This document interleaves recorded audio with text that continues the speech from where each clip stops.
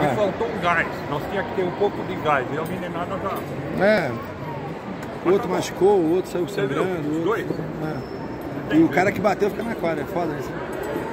Professor, muitos lances polêmicos também na partida, né? Teve algumas faltas aí que a arbitragem, pelo menos ali na arquibancada, pareceu que inverteu.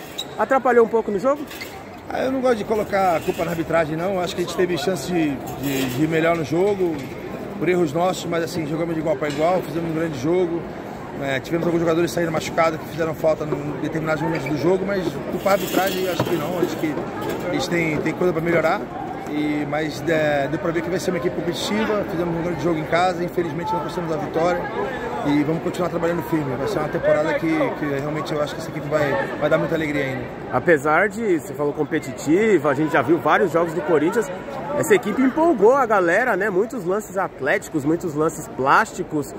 Como é que está sendo lidar com essa garotada aí, vindo com esse apetite todo? Não, é, um, é um perfil que a gente foi buscar, né? Jovens, atléticos, com muita energia e a gente está realmente, cada dia que passa, a gente vê que a gente acertou na, junto com a diretoria nessa, nesse, nesse, nesse remodelamento do, da equipe que a gente fez esse ano. Né?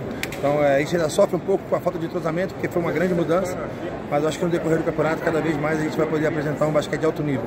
E o que, que faltou no último quarto aí, que o Corinthians caiu bastante de rendimento? Ah, acho que foi turnover, né? Acho que a gente tem que tentar, no final de jogo, a gente tem que ir para sexta. A gente não pode abrir mão de ir para sexta, então teve alguns momentos que a gente perdeu lateral, perdemos bolas, passes errados, então nesse momento um jogo desse nível faz muita falta a gente ter, ter, ter chance de ir para sexta.